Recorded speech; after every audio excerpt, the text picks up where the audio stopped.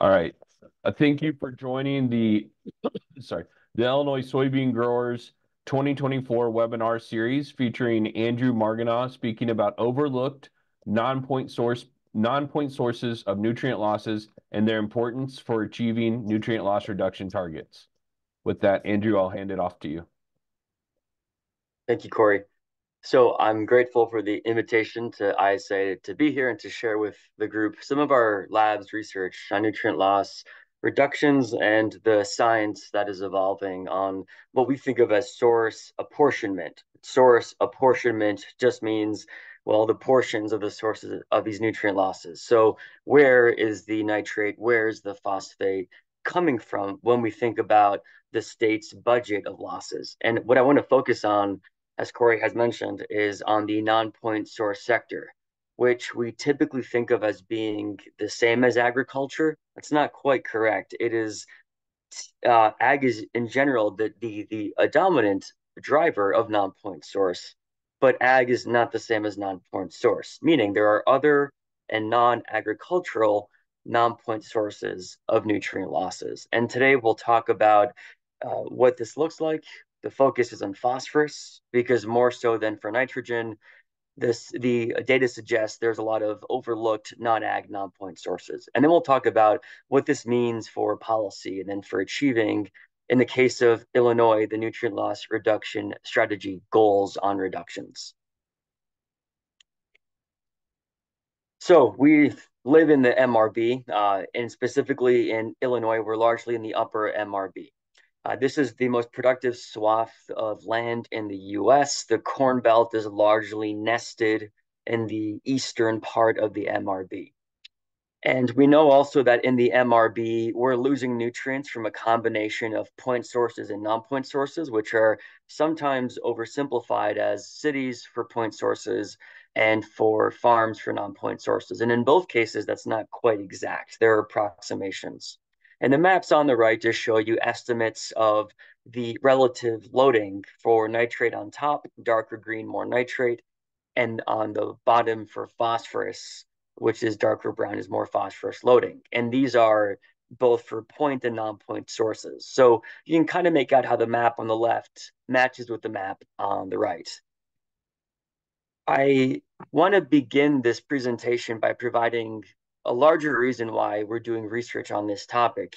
Um, our job as biogeochemists is to understand where things are coming from.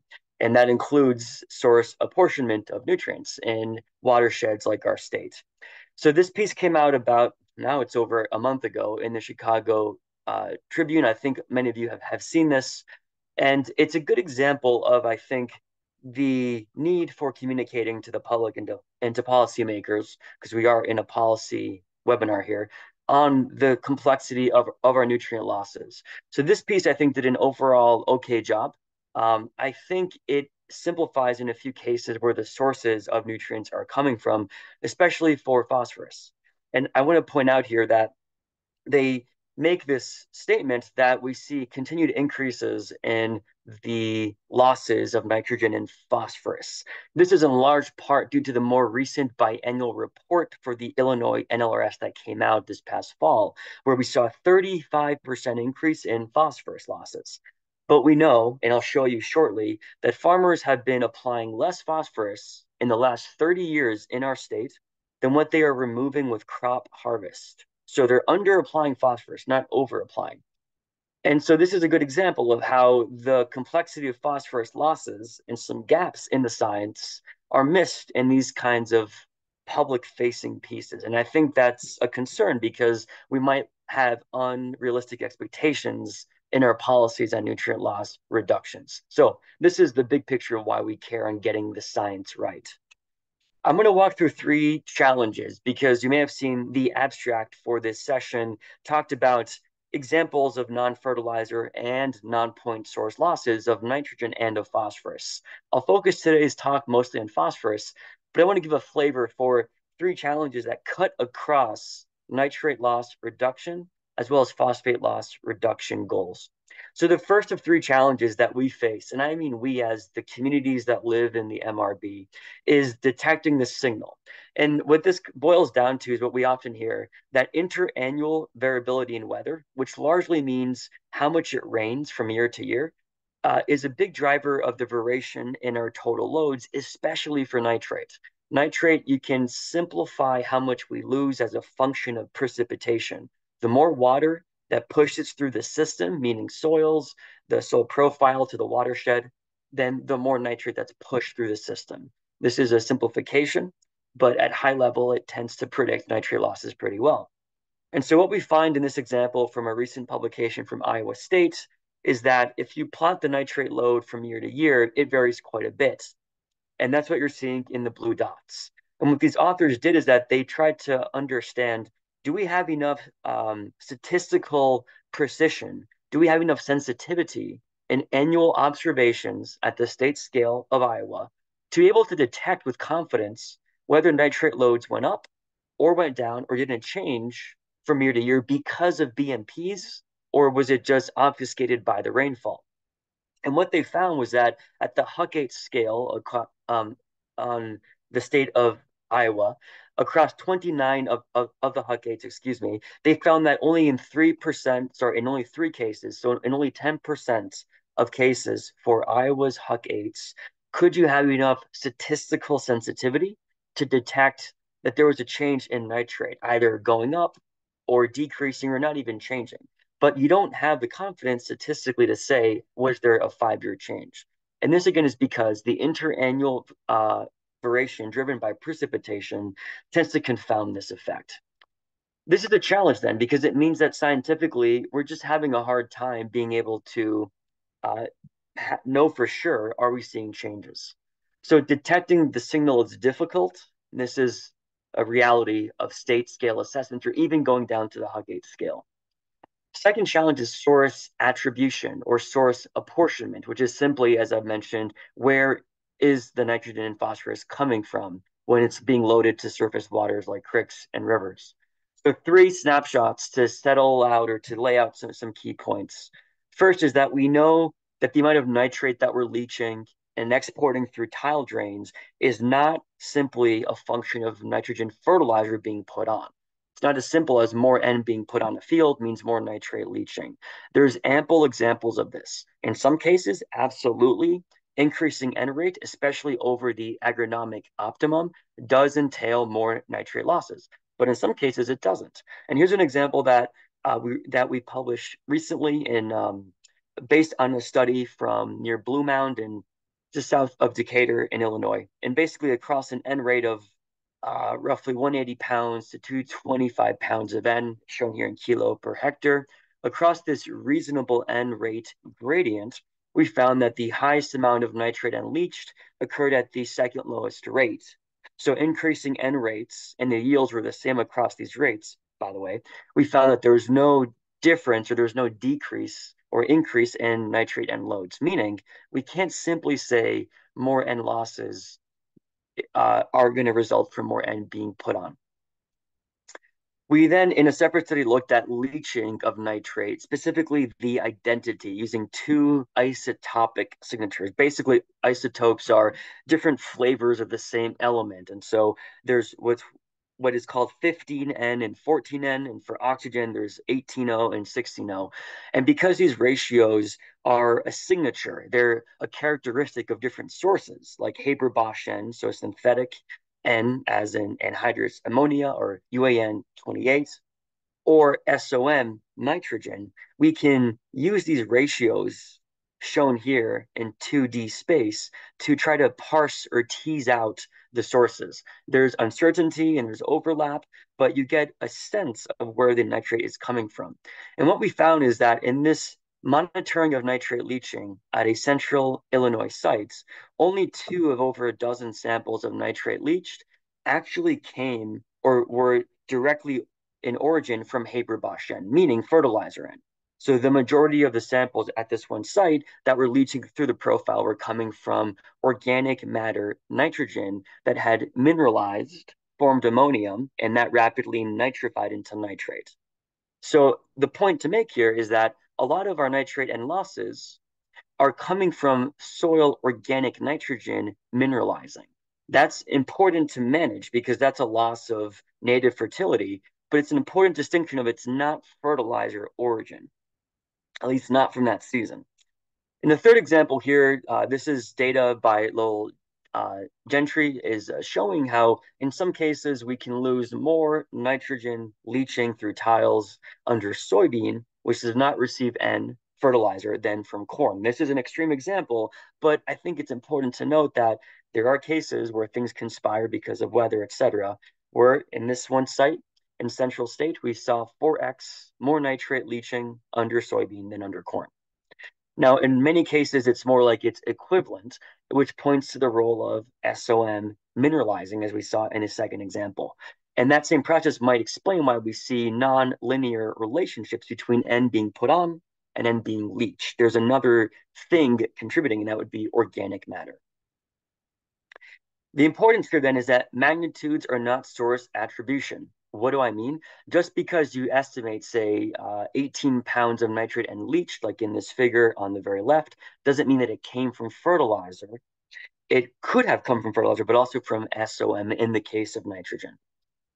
The third challenge, broadly speaking, is lag times, meaning that when we lose the nutrient or when the nutrient, be it nitrate or phosphorus, hits the water, be it the stream or the lake, for it to actually be exported, be it the USGS super gauge that empties the Illinois into the Mississippi or the Gulf of Mexico, pick where you want to uh, gauge it. But from when it's lost to, to when it is picked up on or detected in the gauge, that time might be substantial. These are called lag times or legacy times.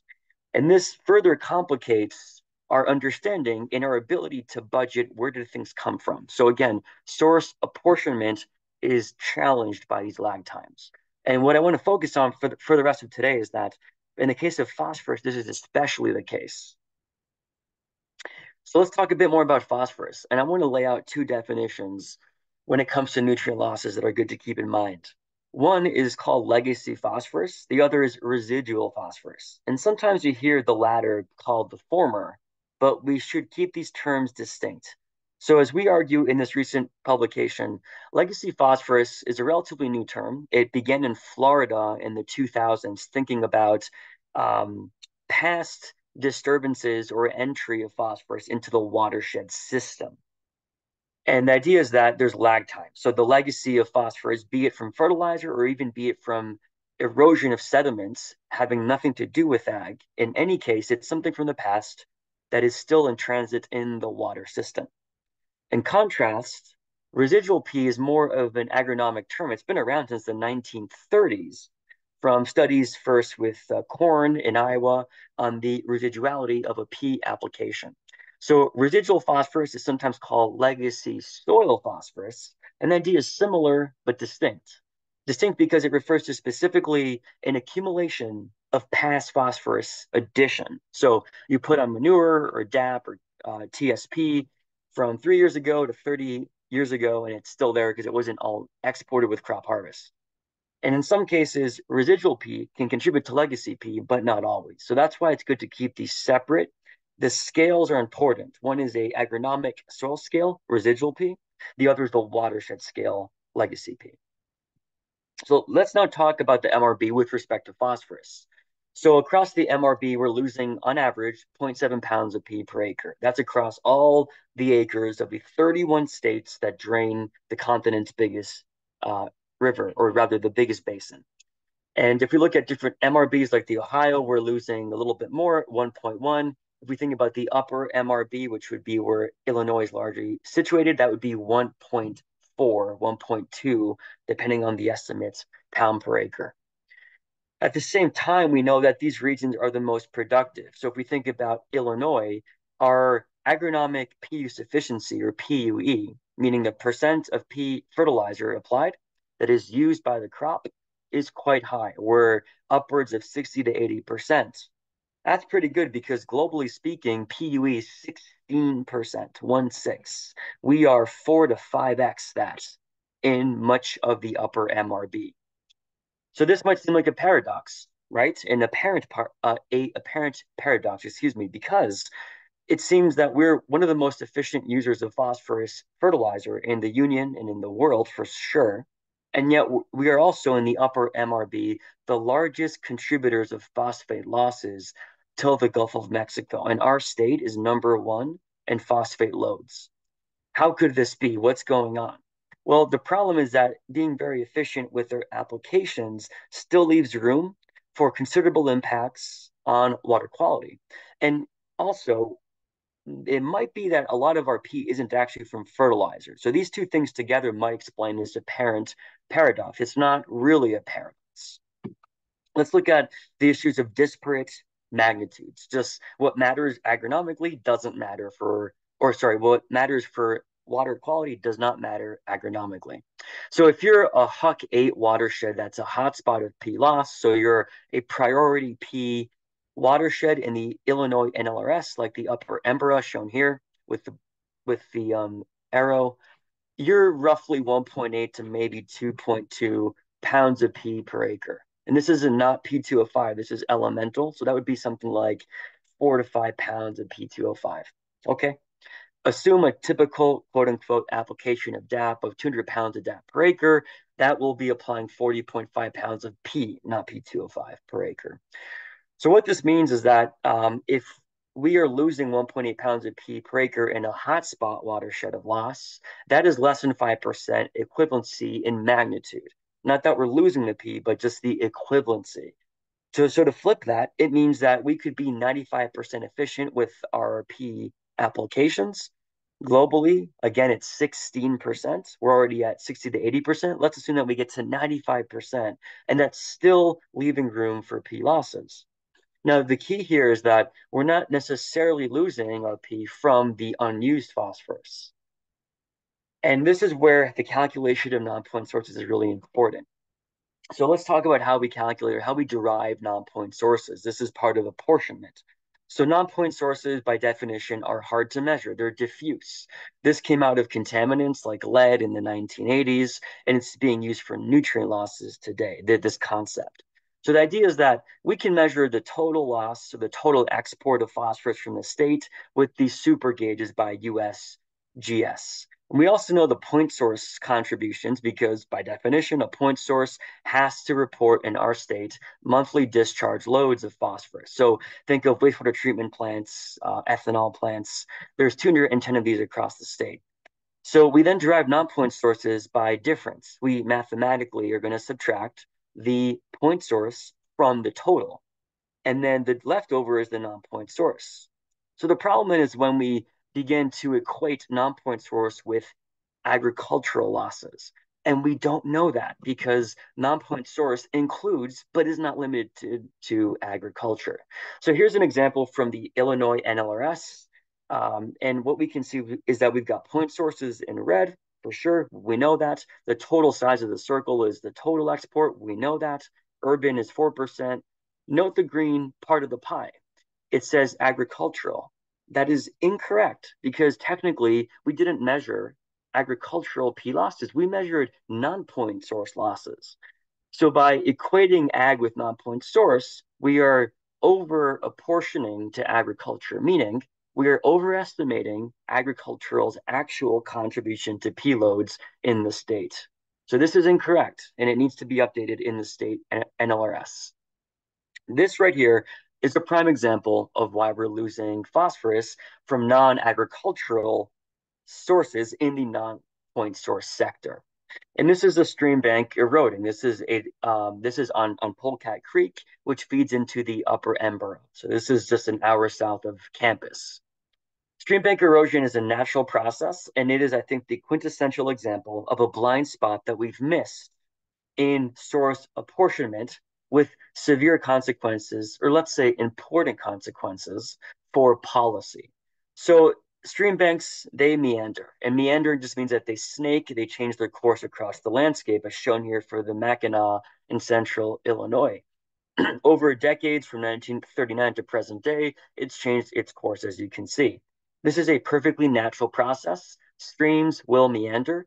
They meander more in a flatter landscape because they seek to find the lowest position in the landscape. And when things are very flat, there's no clear winner of where's the low spot. So these streams meander more and more, trying to find in vain the low spot. So, because this process involves the sloughing up of stream banks through undercutting as the stream migrates, we get a transfer of phosphorus into the water. And this means then that we're going to have an undercut that eats away. And after many years, all of a sudden, there's a hot moment, a flash point, where the entire bank collapses from the undercut. It's called mass failure, meaning a lot happens all of a sudden, and we need decadal timescales to capture that. Now, once the sediment is in the system, that sediment contains phosphorus naturally. So with no fertilizer being added, there's still tremendous amounts of phosphate phosphate loading into these streams. Now the sediment may re uh, may be redeposited on a bank, like in a point bar downstream. So there's a kind of a, a hopscotch or leapfrogging where the sediments might be uh, deposited, then they'll re-erode or re-mobilize like in a floodplain. And it takes a while for the sediment to work its way down the stream. This is part of the legacy uh, lag time challenge that we discussed as a third challenge. Now, in addition to the very stop and go leapfrogging of sediments down the stream channel, which might take 100 years for it to exit the states, we also have varying release rates of dissolved phosphate from the sediment phosphorus. Excuse me. So, as we know, total phosphorus in soils, including stream bank soils, um, includes a very small fraction that is immediately soluble. It's what crops use, it's what organisms like algae use. That's shown here as the red. So when these so when these uh, soils erode from the banks, there's an immediate pulse of dissolved phosphate. But then there's other forms, four other forms shown here by color, that will release at varying rates depending on the chemical form of the phosphorus.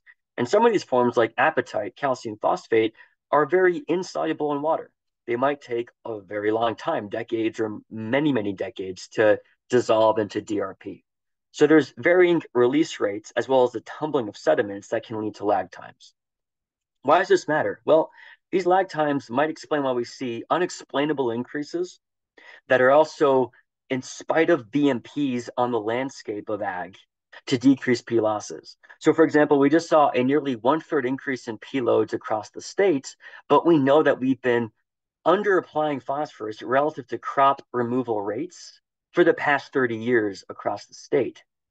So this is an apparent paradox. Again, how can we be having a, a 35% increase in P losses driven by the non-point source, by the way, when we have farmers that are not over applying P, they're actually under applying, agronomically speaking.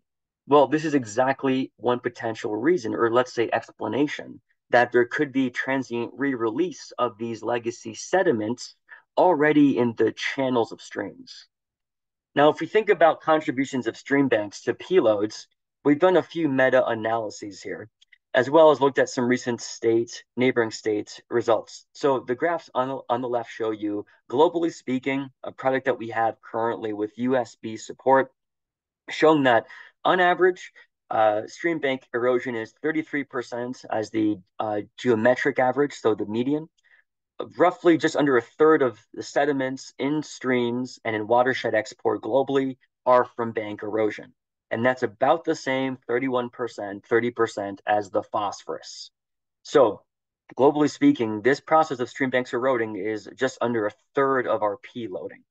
And that 31% matches very well. In fact, it's the same number that Iowa State recently estimated for, well, our neighboring state where their 31% means over 18 years, the last 18 years, stream bank erosion is loading a magnitude of phosphorus to Iowa streams that matches the total P export of that state. So stream bank erosion is not trivial in magnitude, it's actually quite appreciable.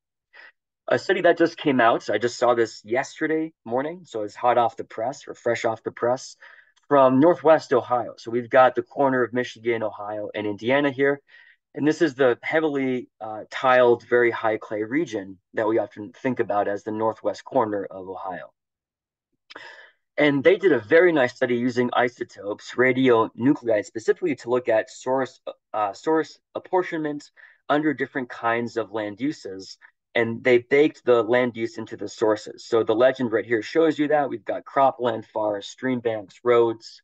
And what I want to point out is that the blue is stream banks. So a few things to note from this figure. Across this region, we see a lot of blue.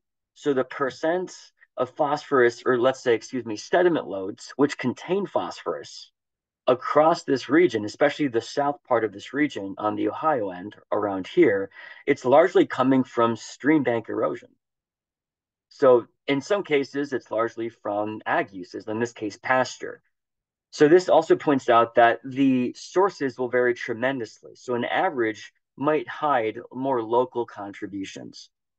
Now, overall in the study, they found that stream bank erosion was up to 40 times higher under forest than under pasture or cropland. So one thing is what source is responsible? Is it cropland, pasture, forest? The other is, or excuse me, these stream banks. The other is the erosional rates. So a key finding of this recently published paper from Ohio is that stream banks erode more in this part of the world under forest. Second, if we think about the sediments already in the streams, where did they come from? Well, they found that there was no difference in the amount of sediment P already in the stream channels across land uses. So whether you had pasture, cropland, forest, didn't matter. What they found was that the majority of the sediments in the streams were from stream banks, from half to 96%, again, in this region. Now, in the upland regions, so especially up to the north of this, uh, we had less contributions from stream banks and more from upland, meaning pastures or croplands. So this makes sense. When we have flatter landscapes or lower down in the watershed, we have an increasing contribution of these legacy sediments from stream banks. The authors also found that roughly from one fifth to half of the sediments already in the stream channels were recently contacted by rainfall. And this is what you can do with these isotopic methods. Long story short, within less than five months, they had been remobilized. What this means is that we've got redeposition and re-erosion of sediments. There's that hopscotching or leapfrogging down the stream channel, and we've got stream bank erosion. So roughly half of, or up to half of these sediments that are tumbling down the streams and chronically releasing phosphorus are relatively new, less than five months. And I think to me, what stood out from this study that really impressed me was when they looked at the amount of phosphorus, the P concentration in the sediments already in the river channels, what they found was that there was more P content in these sediments in the stream beds than in the stream bank soils that weren't yet eroded or from the fields or the forest soils. Meaning that these stream beds, sediments, are acting as a magnet. They're sucking up dissolved phosphorus that enters into the stream.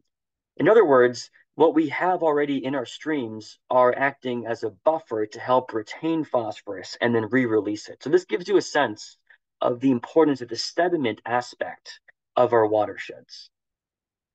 All right, well, these are two studies that are ongoing or that have been published. What about in the MRB specifically? Not global, not Ohio. What about MRB at the state scale? We are about to publish a meta-analysis that was done with US Soybean Board on this. Only 51 studies have reports of studies, sorry, only 51 studies that, that have done something measuring of bank erosion in the basin. And uh, of these studies, we find that there's none in our home state. Most of these studies are being done either with erosion pins at small scale or remote sensing at large scale. But note that they're relatively young. They're less than 15 years, and most are less than five years. Really, four years is the maximum which is how long grants go for. So that's why it's probably four years. As I said, we need to have long time scales because of the decadal shifts in bank meandering. Now, what we found was that the range of stream bank phosphorus erosion contributions was roughly 2 to 44%. That's quite a wide range. So the relative contributions are significant in some cases. And the value was 0.7 pounds of P per acre on average from these studies. And that matches exactly with what we were saying at the beginning that on average across the MRB, we're losing 0.7 pounds of P per acre across all the sources.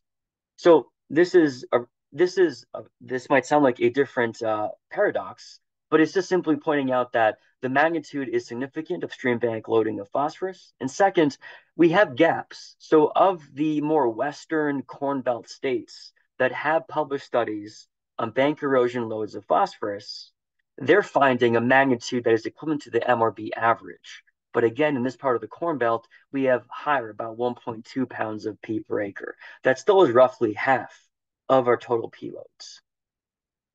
Two takeaways we have data gaps, so we can't use a meta analysis by itself. We need better field data. And second, the magnitude of P loading by bank erosion is appreciable. If we think about at the policy uh, level, what is known at the state scale of stream bank erosion contributions to P export? And we saw that there's one estimate for Iowa. It's not yet in their state NLRS, but at least they have a statewide estimate with good data from Dr. Schilling. But that's the only state. All other states have no estimates state scale. They may have a watershed or a catchment studied in a few states that were published, but that's not a state estimate.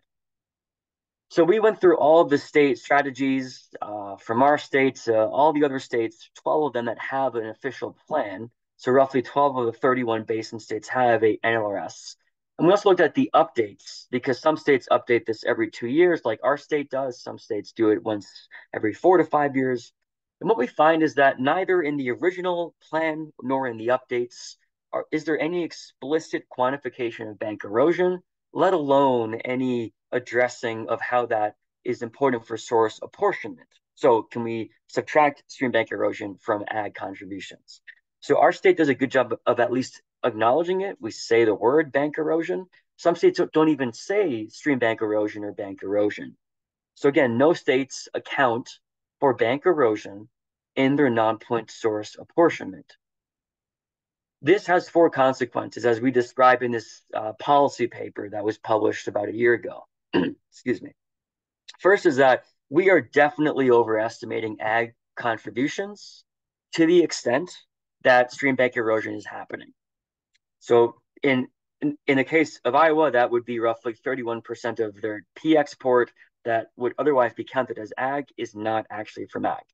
Second is that we're losing or we're missing out on a chance to potentially manage a source of non-point for, of non-point source phosphorus. There could be things like uh, wetlands or buffer systems that can be built in certain watersheds at choke points to try to uh, decrease bank erosion potentially. Third, as a consequence of number two, is that we might be misdirecting resources. BMPs on crop acres won't help us stop stream bank erosion if we can even stop stream bank erosion. And I think fourth is really important, going back to, to the Chicago Tribune article, we may not have good expectations especially from the public and policymakers, as well as researchers and farmers, on how long might it take and how much effort is it going to take to decrease phosphorus loads from Illinois and from other states. So two questions might arise. First is, hold on, why don't we have any good data or any data on stream bank erosion contributions to P loads? And I think the reason for this, we don't have to really ask. We can find the answer specifically in the 2015 Illinois NLRS biannual report, which says we don't include these estimates because we don't have data. And that's fair enough. It's a very challenging thing to do. We are doing this right now across Illinois using traditional erosion pins, laser scanning, LIDAR, and remote sensing using modeling to upscale. But this is a project funded by Illinois NREC that is um, uh, in the high six figures, and it's a starting estimate. And it's going to take four to five years of work across eight HUC-8s to get us a sense of this magnitude. So it's a lot of work to get decent numbers as a start point. So I think that's an explanation is that it's just very difficult. And this is going pretty well. To give you a flavor as an update on that project, we've got erosion pins and remote sensing across uh, eight major HUC-8s that are diverse. So we capture the diversity of watersheds in the state with these eight HUC-8s. Um, we've got um, over 306 reaches, so stream reaches that we are looking at with thousands of erosion pins currently. And we're also looking at going back to the 1930s, historical remote sensing, so basically photos from planes to look at the meandering of the stream as we can see here. The second question that you might be asking is, okay, um, you're saying that stream bank erosion, Andrew, is not from agriculture. And I, I want to be very clear here. It's not a fertilizer contribution. And people might claim, and I think that they're right, that, well, aren't there indirect effects of agriculture via land use. The fact that we're draining fields, that we've got tiles and ditches, we've increased or we've at least impacted the hydrology of the watershed from how we do ag. Fair enough. And that's a good point. And the question might be asked is that indirectly exacerbating stream power and more powerful streams, more flashy streams after precip, um, it might be leading to more bank erosion. So the evidence suggests that in some cases that's true, but in some cases it's the opposite. In the case of tiling, we might be decreasing stream flashiness and thus bank erosion. So here's a recent study from this fall. They look at the flashiness of streams, which is assessed by the RBI, the RB index. As that number goes up, streams are just more flashy. And what we have here are soils that are low infiltration on the left and soils and, or rather watersheds with soils that have high infiltration rates. So typically more sand or less clay. Okay, so what we find is that as we increase the amount of tiling in the watershed, at which they had as low, medium, and high percent of the watershed that's tiled, and watersheds that have low infiltration soils, so let's say more clay, less sand, tiling decreases stream flashiness. And we get the opposite trend. We get more flashiness with more tiling in watersheds with soils that already drain decently well. So this explains why we do find conflicting findings in different studies. It, it does depend in part, as we've seen here, on the infiltration of soils. And the mechanism is that if soils don't infiltrate well, the left-hand figure, there's going to be a lot of runoff on the surface and that will drive flashiness. So by tiling, we mitigate the flashiness from surface runoff and we smooth out the system. There's less flashes. But if soils are already infiltrating decently well, then increasing how well they infiltrate with more tiling backfires in the sense of more flashiness. In reality, there's many other factors like slope, how wet the soil was, antecedent is what we call it, uh, the depth of the water table as well. And so this requires meta-analysis and modeling and very good field studies to get a handle on where does tiling as it's currently practiced decrease or increase flashiness and where it increases it can we think about uh, tile drainage management as a means to help tiling not contribute and even help smooth out flashiness i think there's room for tiling to help reduce bank erosion through that effect. So currently we're doing another meta-analysis. This is number four that we're doing with USB support. This is with NCGA support as well. And what we're finding is that a lot of studies to date are in regions where historically folks have tiled. So the Baltic Sea Basin, uh, Sweden, Germany, and then the Midwest, as we can see here.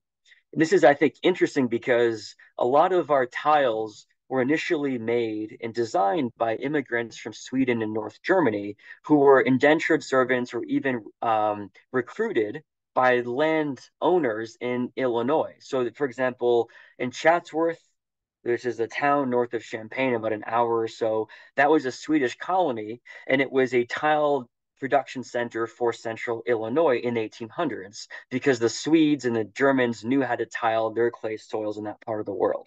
So it's partly why we have a large population of Swedes and Germans in, in some uh, in, in, some parts of the state. They were brought over specifically for this knowledge. And I think it's interesting that we still see that signature of the development of tile drainage, uh, which was clay tiles originally in that part of Europe, as well as in the Midwest.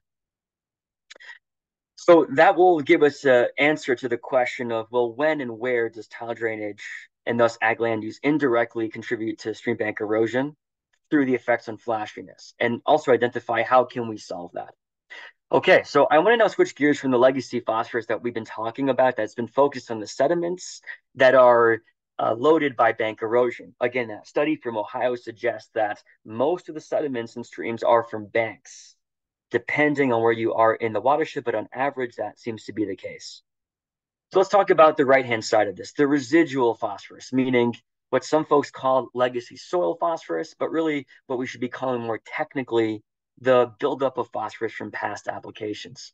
So the way that we can come up with the amount of, of the residual phosphorus is by a mass balance. We know the inputs, we know the outputs. You subtract output from input.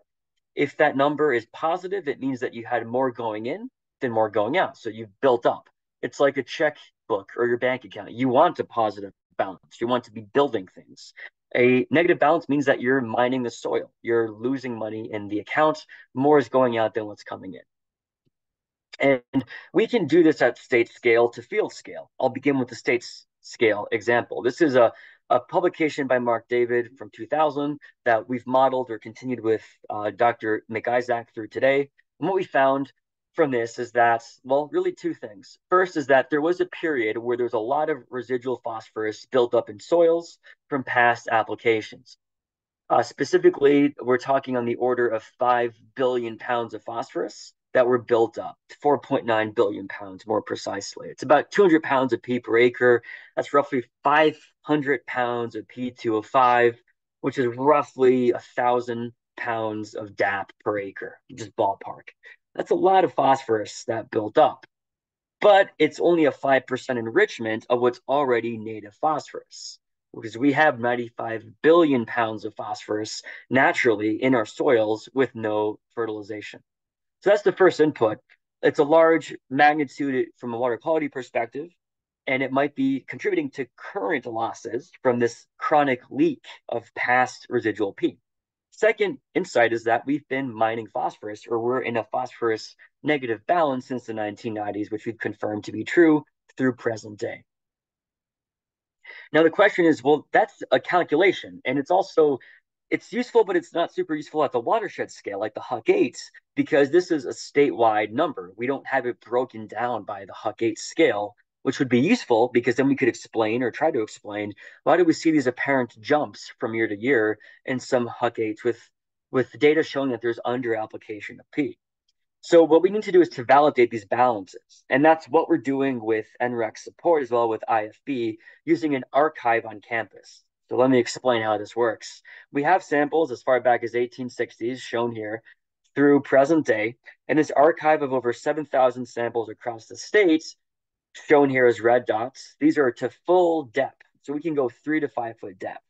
We know where they were taken. We know when they were taken, which means that by resampling these locations, we can try to validate the balance that we see here. Can we identify where this residual phosphorus is at the watershed scale? So we've already quantified the amount of phosphorus before the use of fertilizers in the state using the archive samples pre-1950. And that's what it looks like here. Now, again, we've only enriched this by 5%. So the map of P stocks today should look a lot like this map. This is an example of the kind of insights that we can do with basic research. This is total phosphorus, not Bray, not Mehlich, but total phosphorus to depth. Look at those numbers. They're kilo per hectare, which is going to be a little bit higher than pound per acre. But we're talking up to 20,000 pounds of P naturally in our soils per acre to three to five foot depth. Why does this matter? Well, by resampling these locations, we can understand where this increase in residual P is located. That's useful because it helps us link watershed scale P fluxes with measured residual phosphorus. So we're making good progress towards this. We've sampled 8% of sites, 453 sites across the state, which you can find through the QR code. Uh, shameless plug, if you can help us identify the sites, who owns it, and help us get permission to resample, this is an example of what we can provide for the state. High quality evidence based assessments of our P losses within the non point source sector. Let's look at a field scale. So I just showed you a mass balance to figure out residual phosphorus at the state scale. What about field scale? Let's look at the Morrow plots on campus. This is the uh, oldest experiment in the Western Hemisphere, second oldest in the world, established in 1876 and we've got records on yields and inputs. So we can come up with balances shown here that we've calculated. We've also confirmed them by actually sampling and quantifying changes in P stocks. So these plots were established 148 years ago. They're still going, and our lab, as the stewards of the plots, have been trying to use them more and more to look at phosphorus. And what we see here is two examples of balances that we calculate for a fertilized treatment versus unfertilized. So these are both corn on corn since 1876. The data began on yields in uh, 1888. That's why we see it begin there. So what we see is that when you don't fertilize and you uh, grow corn each year, you know, even though it's 30 bushel corn per acre, we see that there's mining of phosphorus. So we've got a negative balance on the y-axis. Note that in the fertilized system that got phosphate rock, In about less than 20 years, we had a massive increase in 15 years of the positive balance. So what we did in the 1910s has led to a phosphorus balance that we still see today. We've built up the residual P and it's still in the system. Note that when we began to use soil test based recommendations by the 2000, before that it was a flat rate of DAP every year, we then began to see drawdown. So, a nice example of how the four R's can be useful for decreasing the residual phosphorus that we've built up. I think that's a win win. It saves on inputs for farmers because they can mine the buildup safely, and then it reduces a potential leakage source of non-point P. The point that I want to make is that we know that over 100 years ago, phosphate rock being applied to the Morrow plots is still responsible for the buildup of P today. This matters because it means that a lot of our P losses today, even the ones that are coming from ag fields, may not be from fertilizer being put on today or what would be put on tomorrow it's the residual P. So here's an example from Douglas County, south of Champaign, uh, courtesy of Lowell's group, published in 2020. What we see is that uh, at this site there were old, uh, or there were formerly hog production sites, swine barns, as shown from the left-hand figure.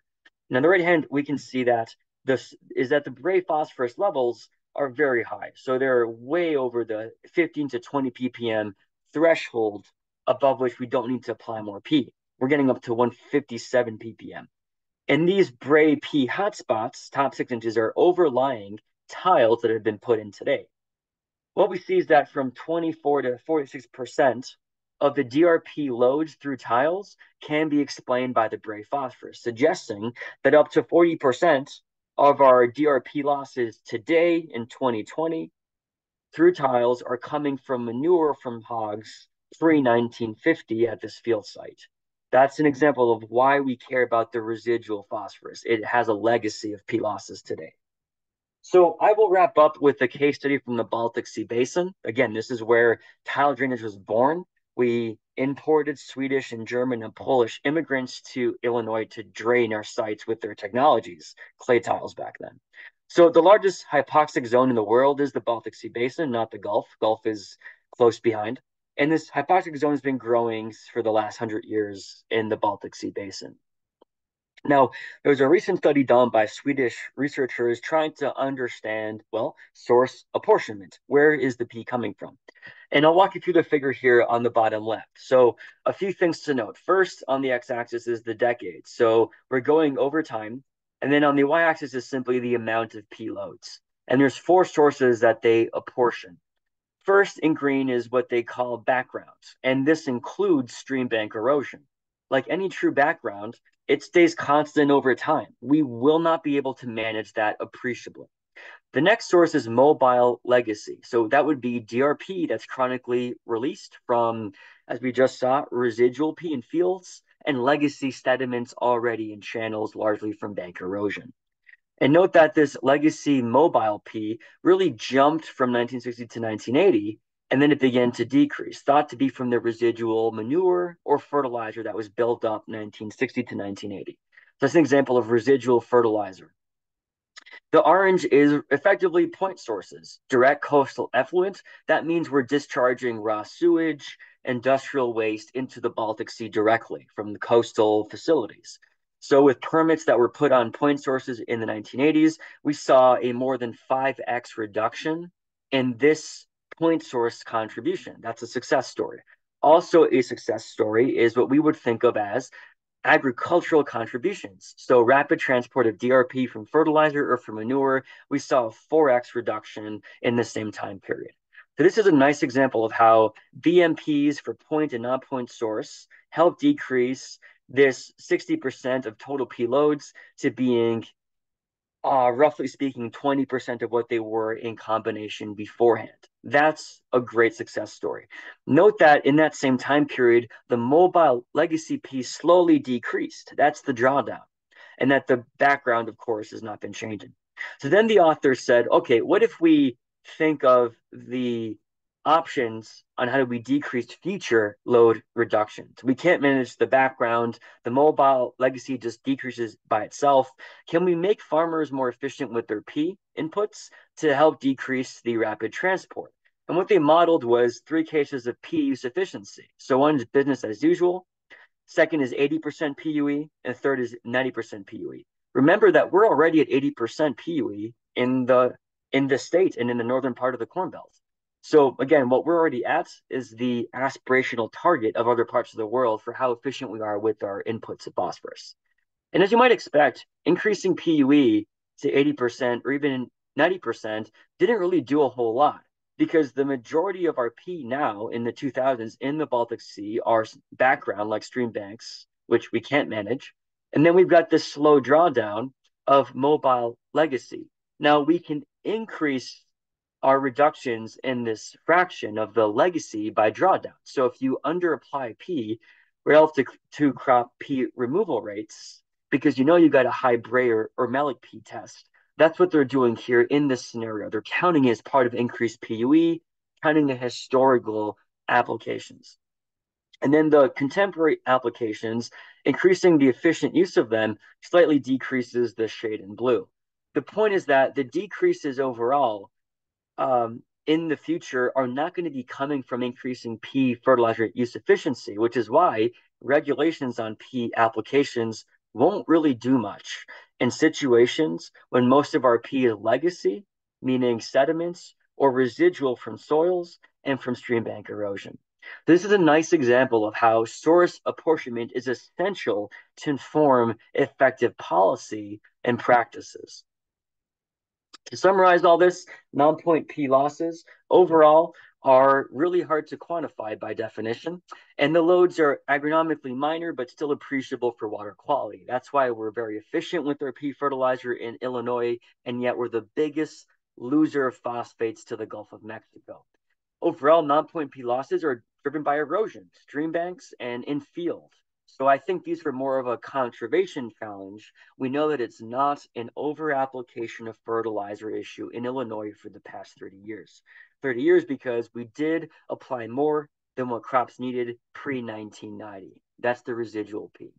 Importantly, we do not in non-point P loss estimates and policy account for bank erosion in any Mississippi River Basin state, including ours. That's the problem legacy P in soils, what we should be calling the, the residual P as well as in the stream channels, uh, sediments. These have different origins, but the important point is that because we don't account for them, we are in for a rough surprise of lag times that might mean we're waiting decades or more to see decreases in P loads, even with BMPs going on to acres. So we have to quantify these lag times of legacy phosphorus there's four reasons why. One is we want to basically, well, account for direct ag contributions. So not even how much is coming from non-ag, non-point like stream banks, but how long it's going to take to decrease that if we uh, shut off all the ag contributions tomorrow. Second, this is a chance to use our resources more efficiently to manage a non-point source of P. There are options, things like where might there be watershed management plans that decrease stream power to therefore mitigate bank erosion? It's still going to happen, but we might think about holistic approaches to watersheds to decrease stream bank erosion. Fourth, and I think this is really important, is that we need to communicate to policy and the public that our NLRS expectations and timelines may not be quite correct. The Illinois NLRS is incorrect in equating non-point source with agriculture, but it also needs, I think, to have a better handle or estimate on how long it will take for these legacy sources to decrease, even as BMPs go onto acres. So with that, I'd be happy to take any questions. Thank you for your time. Andrew, thanks so much for that. And um, I think it was great. And we do have a couple questions already loaded. So I'm just going to go um, kind of in the order they came in. Uh, Jeff O'Connor asked, I am a drainage district commissioner in Northeast Illinois. When stream bed sediment is periodically removed, clean and clean the channel. We might what might P readings do during cleaning and how long might P readings remain abnormal? So can you maybe comment on that a little bit? That's a great question. Thanks, Jeff, for well for the question. So, um, I think during cleaning, when there's well, it's pretty well established. I think that when we're disturbing sediments, there's a lot of uh, phosphate that is going to pulse and go downstream. I know that dredging is an issue for aquatic ecosystems. It does make sense in some context to dredge. Um, an example here is in, in Dane County in Wisconsin, where Madison is in Lake Mendota. Uh, the county figured out that the most effective use of dollars to decrease P loads to Lake Mendota is just to dredge a lot of the small streams that feed into the lake. And so, dollar per P pound removed from the system, it made sense to dredge these sediments. Yes, there's a short term increase in P load because of the shaking up of these sediments, but in the end, it's out of the system. How long that would take, I'm not sure, Jeff. That's a good question. But I think uh, within, I'm going to guesstimate five to 10 years, the net effects seem to be worth it.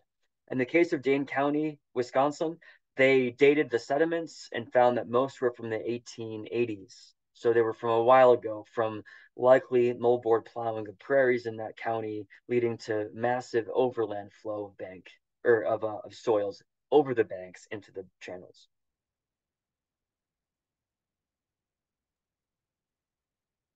Thanks. So uh, one next question. Um, and this is kind of pointed at at you as a university professor, Andrew. I like this question. Were fertilizer recommendations by the universities too high in the past, and that then that caused buildup of nutrients in our soils? So is it the university's fault? I think that's what the question's really asking. It's a fair question. Maybe. Um, and I'm saying maybe not as a cop out, but I don't know yet. Um, there's evidence that yes, I think there were some recommendations that led to over application of phosphorus beyond crop P needs. So here's an example. We know that there were recommendations in the 1900s, like 1908, to be putting on up to a thousand pounds of P as sorry, a thousand pounds of phosphate rock. And a big unknown here is well, what's the P2O5 of phosphate rock? If we assume it was the Tennessee Brown mines that was the main source of Illinois for uh, for the state, excuse me, pre 1940, it's about 12% P2O5. So a thousand pounds of 12% P2O5, that's 120 pounds of P2O5 per acre. And that was every three to six years was the recommendation. So a lot of the recommendations by the land grant, so we're talking here like pre World War II, were pretty high doses of phosphate rock to recapitalize your soils. There was even a book called Bread from Stones and in the book Bread from Stones, published by the U of I soil scientist Dr. Hopkins, the idea was that limestone and phosphate rock, uh, adding high amounts gives you slow release sources of P and corrects for pH. So 120 uh, pounds of P2O5 per acre seems like not a whole lot, but when when yields were 30 bushels of corn per acre, their removal rates were also pretty low of P. But then again, that was every three to six years. So there's some math that we have to do here there's evidence still, like in the Morrow plots, as you all saw, that following the land grant recs, we way over applied phosphate rock at the Morrow plots and encumbered a massive positive balance within just 15 years. So I think a mix of not knowing any better and the misconception that phosphorus doesn't leach as much is saying that phosphate doesn't leach at all um, was incorrect. So I think we've always thought as phosphate not being lost, it can still be lost. It's just not as mobile as nitrogen. That's a long answer, Ron, but I think there is evidence that, yeah, there were some, what we now know to be faulty recommendations by the land grants. So thanks for that response, Andrew. I think that was good. So I do want to remind people you can put questions in the Q&A and Andrew will pop up um, and answer them. I did have one question, Andrew, and this kind of stemmed from the Chicago uh, Tribune article that you shared at the beginning. Um, one question I get from farmers a lot is, um, or maybe not a lot, but occasionally is, why should we really, as farmers, as Illinois farmers, why does impacts in the Gulf of Mexico matter to us? Is that really what should be motivating us um, activity wise and things like that? Can you maybe comment a little bit on that on a kind of a bigger scale or high level?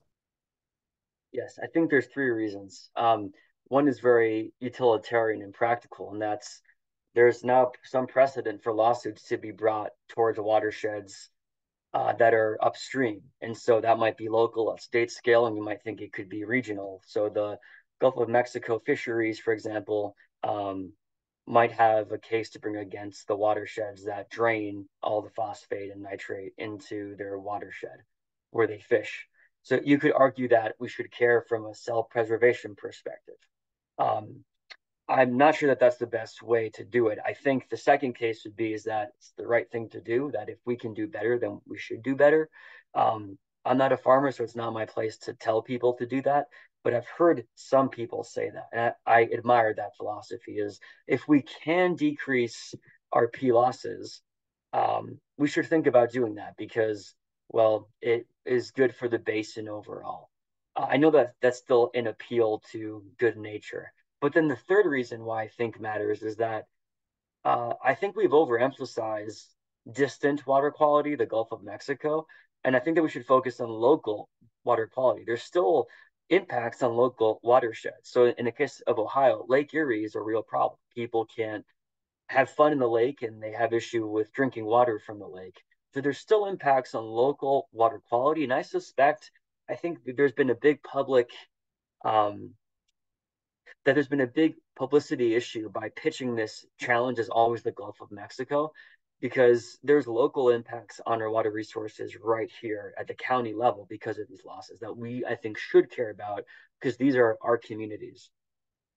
You could also argue a fourth reason, I just thought of one, is that to the extent that we're losing these nutrients, that's a waste of fertilizer. And I know it's not agronomically appreciable for phosphorus, it can be for nitrogen, but every little bit counts.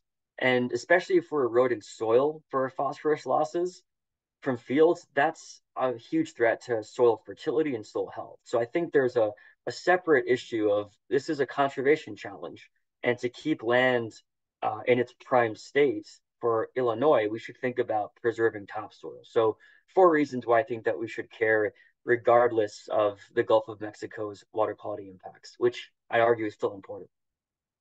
So we did get one more question. I think we're going to answer this one live and then probably wrap up the talk to be respectful of everyone's time. But recognizing the natural changing stream cycles, meandering, etc., what are your thoughts on the best management practice to reduce stream bank erosion that will have longevity? It's a great question, Ryan. Um, let's see. This is a tough one. So to some degree, a lot of our bank erosion is natural because streams will meander. They're supposed to dissect the landscape, as the phrasing goes. And in flatter landscapes like Illinois, especially central North State, they're they're just going to meander. You can't stop that. And anybody who has property that's being sloughed off by a stream knows it's a little bit frustrating. We can try to stop stream bank erosion at small spatial scales with armoring. We put riprap on stream banks incredibly expensive. Um, and it's not so it's it's not scalable, and also it's got not great impacts on aquatic systems from an ecosystem perspective. Uh, it's also not exactly pretty to look at versus a forested stream bank. So there are some places where that's merited, like if you have a property like a house or a structure that's being threatened, by all means, riprap has its place. I think your point, Ryan, is on is is on point. On it's a naturally changing cycle. Where I think we have room is thinking about can we manage the flashiness of streams, trying to smooth out the sudden flashes of water after the precip event. And in some cases, tiles help us smooth out the flashiness. They're a solution. In some cases, they're contributing to the flashiness. So in the latter cases, can we have things like constructed wetlands to buffer the effluent from tiles to try to smooth out that flashiness. I think we're going to have to consider watershed level plans at the HUC-8 scale, even thinking about how do we find the flash points and how do we intervene with a system like a wetland to help uh, smooth that out.